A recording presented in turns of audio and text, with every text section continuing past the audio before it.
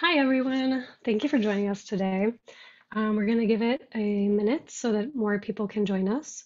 Um, I would love for you all to just take a minute, write in the chat, let me know kind of like if you're new to giving events, um, what organization you're representing, just so I can kind of get an idea of who's joining us today. Um, and then that also lets me know that the audio is coming through for you. So I'll take a minute and see what you all add. Awesome. Welcome, Pam.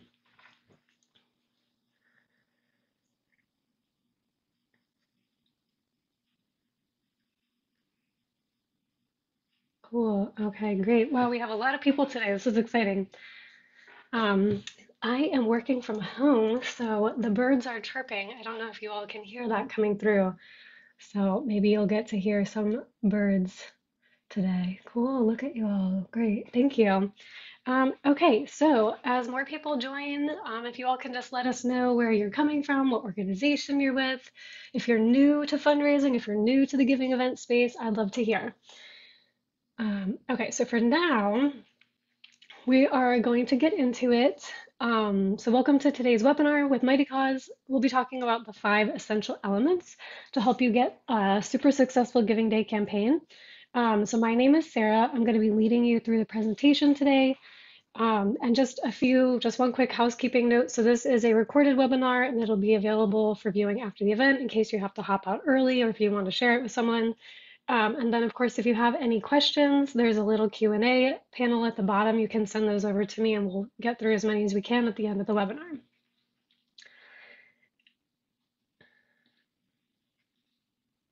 Okay, so this is me. Um, welcome. Here's a look at our agenda. Um, we're going to be going over these five key elements that I put together so that you can have a successful giving day. Hopefully, if you're brand new to the giving events or if you've been participating for a few years, you can find something that will help you kind of try something new for this year's events that you're participating in. Um, so, pretty much the breakdown for our five elements is setting clear goals, reviewing and understanding your specific giving event, how to utilize and create partnerships um, how you can continue sustaining momentum during the event. Sometimes that can be challenging. Um, and how to pretty much just elevate your outreach and what that means for your giving day. And then, of course, at the very end, we'll do a recap and we can head into our Q&A. Um, so if you have questions, like I said, just add them to the Q&A section on your panel. Um, a quick introduction to Mightycause. If you're brand new to this space, we are a fully functional organization fundraising fundraising suite. Um, organizations can use us every day of the year to raise monies for their causes. We also uh, were one of the first to host platform to be a platform that hosted giving days. Um, we have a ton of just super powerful tools to help your nonprofit just build out and sustain your online fundraising goals. Um, and especially if you're looking to grow your donor base or if you need help managing your online data um, or just making your fundraiser more shareable, we can help you do all of this. So let's get into it. Okay, so for our first element, we have setting clear goals. Um, and this is really getting back to the basics of just setting clear goals for yourself and your organization. Um, this seems pretty straightforward, but is sometimes very overlooked, especially if you've been going through the motions of participating in a giving event year over year. So, really starting, sitting down, revisiting why you are participating in that giving event, um, and there are more than just monetary goals for a Giving Day. So, yes, you definitely want to raise like a bunch of money for your organization, but also considering non monetary goals um, is something really important that you can set for your organization. So, just examples of non monetary goals setting goals for like a certain number of unique donors you want for your campaign, um, new donors, having peer to peer fundraising involvement, or just trying out peer to peer fundraising involvement for the first time if you're brand new to that space. Um, you can also consider adding a goal to engage more matching donors or learning how to kind of take that leap and engage like local business sponsors to help you out. Um, and then we always we kind of label these under SMART. You might have heard of them. So SMART means you're setting goals that are specific, they're measurable, you, they are attainable. You know, you want to be able to reach these goals, and they're relevant for what you're working with, um, and also time bound. Especially with a giving day, most of your goals are going to be, of course, time bound between early giving and the end of your event, if there is early giving for your event.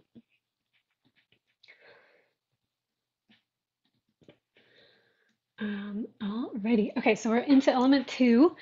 Um, so this is all about understanding your giving event. So when you're working on setting goals for your organization, you're going to want to spend time just evaluating the specific rules and prizes for your giving event.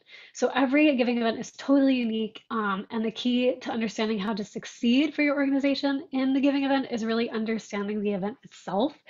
Um, on Cause, if you're participating in a giving event, it'll show a page all about the rules and the prizes for that specific event. And that's going to be like your number one first stop for developing your specific campaign strategy. So take the time, look at all the prizes. We have golden tickets. Some events have power hours. Um, leaderboard prizes can vary based on dollars or most donors um, and just figuring out which ones you really want to aim for. Sometimes it's not possible, it's usually not possible to aim for all of the prizes, but really honing in and focusing on like what you want to get out of this event is your first stop. Um, and then the giving event prizes are great because they are pretty much built in marketing tools for your nonprofit. So, like, and those are actionable items. So donate now, help us win an extra thousand for our work. It's a compelling call to action for donors um, and combined with your superb storytelling skills for your nonprofit. So that's a really powerful way to get people engaged during your giving event. So definitely make sure you understand the prizes available. Um, ask your host questions, uh, you know, reach out to support if you need a little bit of help. Um, so they can help you take full advantage of the marketing spin that they're providing you with the prizes for the event. Um, and then when you're getting your giving event fundraising plan together, the prizes themselves are going to act like bullet points. So you can take each prize, you can create an email, you can post about that prize on social media, let everyone know that you're, you know, aiming to win a prize, a specific prize, um, and then consider doing personal outreach, which we'll get to in a little bit when you're competing for a prize. Um, so definitely become familiar with the structure for your event. Um, alrighty, element two is all about utilizing partnerships. So, giving events are a really great way to engage and connect with your community partners in a way that offers both of you mutual benefit. So, thinking about these partnerships, we have listed out ambassadors, existing partners, board involvement, um, and of course, sponsors. So, your ambassadors are who we call the people in your organization's inner circle who can help boost your campaign. So, this is everyone from board members, volunteers, especially like people who are highly engaged in your work, staff members, and so on.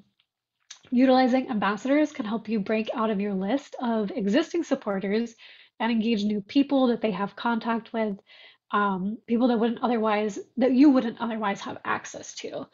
So an ambassador can help you. They can share a link to your organization's page um, with their personal social circle to ask you know, their contacts to help donate or help boost your campaign.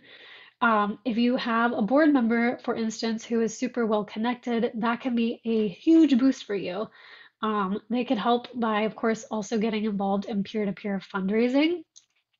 Um, if you have existing partners that you've been working with, you can meet with them and see how you can work together to help keep your fundraising momentum going. So that's going to be a big one that is our next element, is how to keep the momentum going. Um, and that's a good way to kind of connect with existing partners and see if they can drum up any ideas, if they can provide anything from like a matching grant this year for you, uh, or fun prizes for peer to peer fundraising events, or just even like a simple social media takeover. Maybe they'll let you go on their Instagram, um, take over their stories for a day if they're a close business kind of uh, person who's supporting you. Um, so then you can reach more of their contacts. So it's all about just extending your reach through these partnerships. Um, plus, it's mutually beneficial. It's great exposure for your partners. They get to show their support and engage with your cause. Um, and of, of course, also moving into board members, you definitely want to extend the ask to your board members. So part of their duty on the board is to the is tied to the financial well-being of your organization. So it definitely makes sense to have them help out during your giving event um, you can ask your board if they would like to go in together to provide a joint kind of matching grant on behalf of the board. Um, they can peer to peer fundraise for you. You can really get creative here. Um, each member kind of has their own professional and personal network as well to help extend your campaign reach. Um, and Mightycause has tools to really kind of help move that along for you to create like we have the option you can create a fundraiser template so you can send it out to your board members or your board members can send it out to their networks to help make peer-to-peer fundraising super easy for everyone um, you can also create a team on Mightycause. You can allow, which allows fundraising together. So if that's something you want to try to kind of elevate your giving event um, for success, you can have your board kind of participate as uh, a team. Um, there's just a lot of options here. And then in regards to sponsors, giving events are a really great way to gain exposure as a business. Um, they can show your support for show their support for your cause in the community the, while helping support your fundraising efforts in like different ways. Um, they can also supply a matching grant. They can also potentially help cover some costs, like say you want to partner with them to help with marketing expenses. They can put their logo on different things. Um, there's just lots of ideas here where you can kind of start thinking about sponsor outreach for your campaign.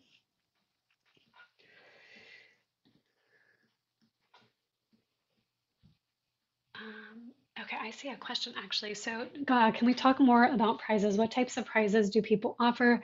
How do people win them? Is it a random drawing? Um, yeah, so it really varies by giving event. So when we're talking about prizes, um, some events have leaderboards where you know the top first, second, and third place might go to like the organizations that have the most donors. We have some that do leaderboards based solely on dollars, so those that raise the most dollars. Um, you would have to look specifically at specifically at the rules to figure out how to win. Um, but they also have their golden tickets are super popular. We have random drawings that happen. Sometimes events will do them every hour. So if you get a donor uh, on the hour, it'll be a random drawing. Um, they're all kind of very different. So, and they use them in different ways. So you'll have to look at specific ones that you're interested in, kind of see how they uh, structure them. Alrighty, let's go into sustaining momentum. Um, okay, so this one can sometimes feel challenging. Giving events can be long. Um, sometimes they are just 12 hour events, sometimes they're 24 hour events. Um, some of them go on for a month. It really depends specifically on your giving event, but no matter what the time frame, you're going to need to try and sustain momentum. Um, it's going to be a full day for you. Um, but getting back to element one, where we talked about setting clear goals, uh, setting mini goals also helps throughout your campaign. It's an excellent way to sustain momentum for your fundraising. Uh, these mini goals help make your campaign, make sure your campaign is staying on track. It helps your organization generate buzz, build excitement. So, setting mini goals for yourself during certain hours of the day is a really good idea. It helps you keep people excited about the goals that you've set for your organization um, and keep working towards top prizes. So, whatever goals you do set, the way you keep momentum is letting people know your goals. Let them know like where they can help you out. What hours of the day should they definitely donate? Um, let them know that. Uh, so to set mini goals, you're going to want to think of your overall fundraising goal and what you'll need to raise or potentially how many donors you'll need to get if that's a goal each hour or section of the day.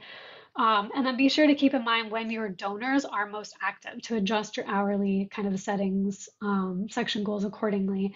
So if you know there's specific times of the day that might be quieter, might be slower, uh, one tactic to sustain momentum is to utilize a matching grant during that time. Um, you can kind of advertise that, it shakes up your campaign, it gets you some momentum, it also incentivizes people love matching grants, and we'll go a little bit into this in a minute. But people love them. It doubles their donation potentially if that's how it's set up, a one to one match. Um, so that can really urge people in slower times to kind of give.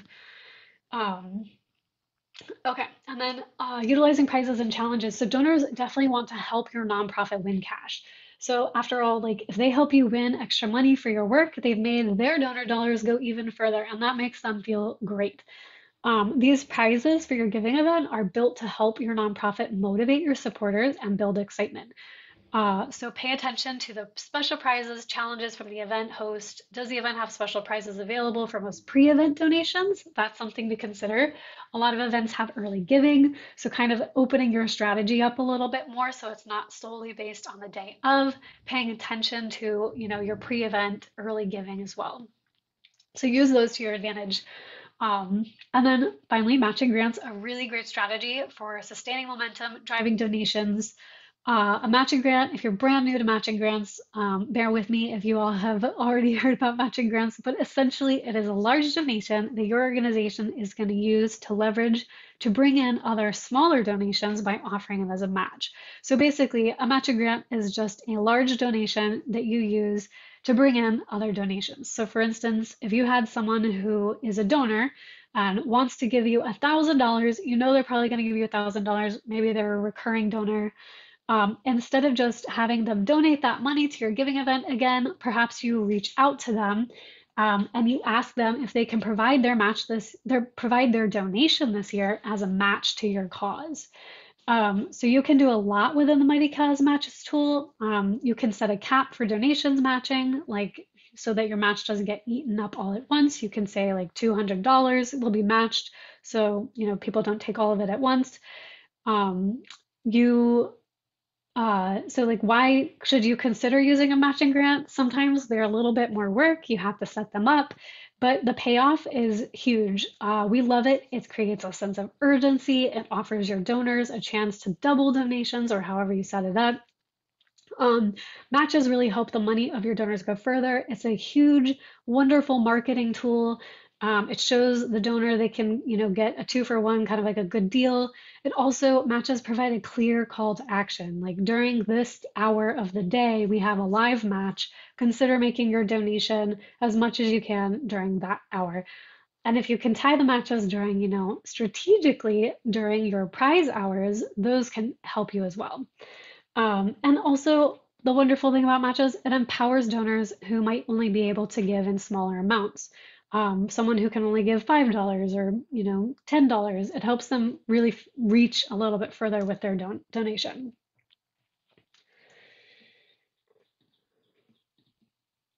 Okay.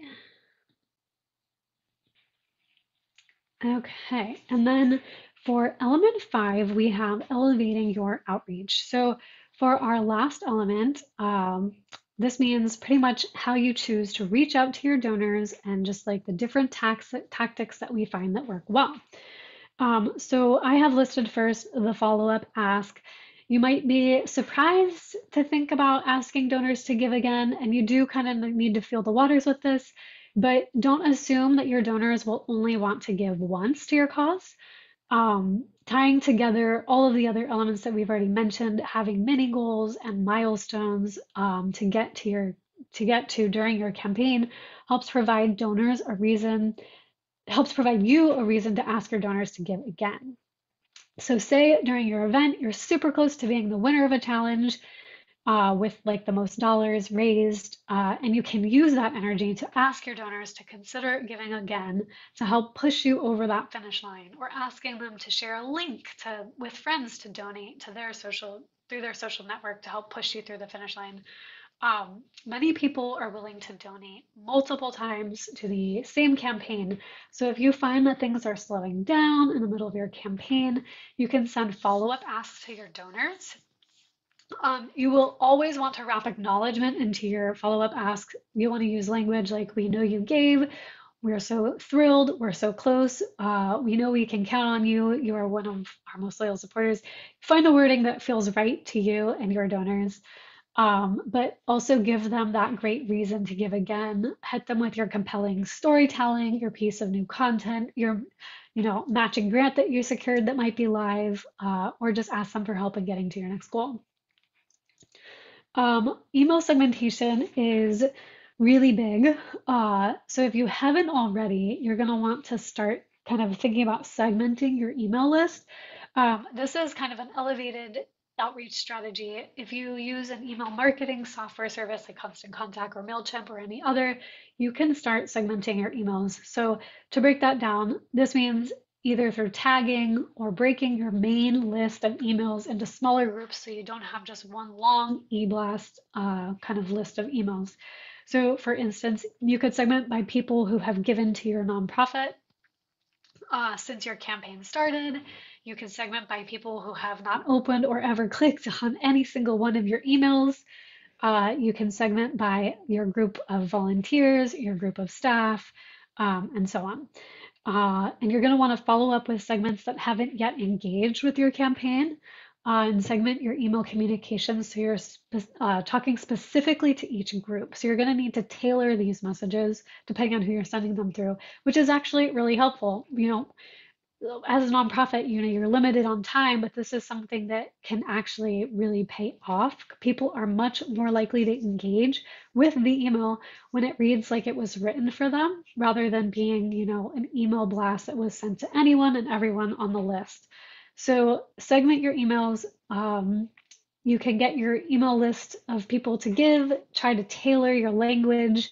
Uh, I like to tell people to kind of create drafts like on Google Docs or whatever you use um, so that you can, before the giving event, kind of get everything together, have your different messaging for each group. Um, the prep work is worth it, let me tell you. um, to move into kind of in the same segment of email segmentation, this is another idea, kind of on higher level. You can experiment with A-B testing in your emails if you have the capacity for that. And this is not something that you probably want to do right before a giving event. This is something that you should have on your radar throughout the year. Um, something that you can work on. This means sending the same email to two groups of a segment.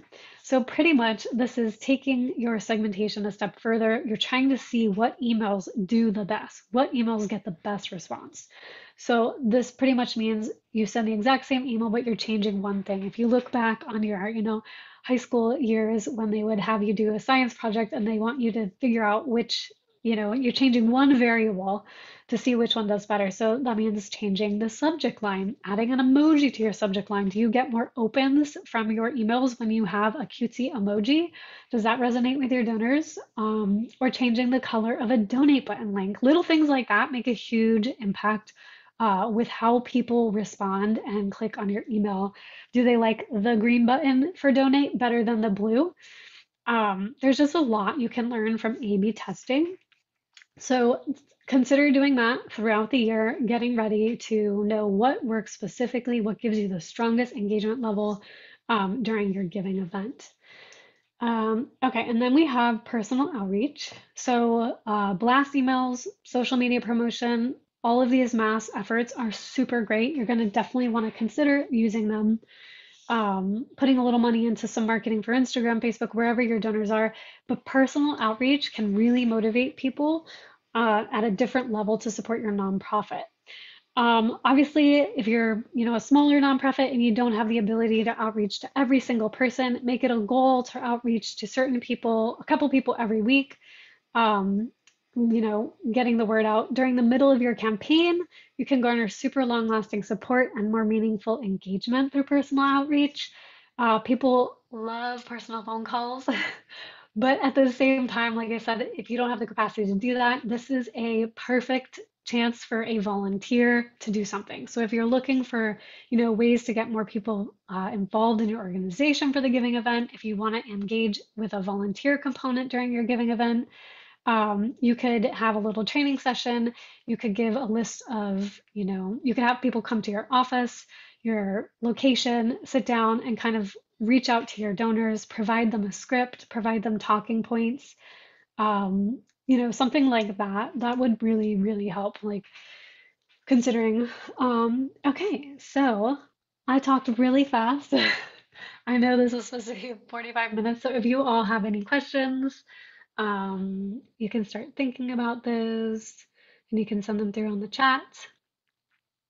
I love seeing how so many of you wrote into the chat to tell me where you're from. We have Florida and Georgia, and I'm in Nashville right now. So it's just, I love seeing the reach that these webinars get.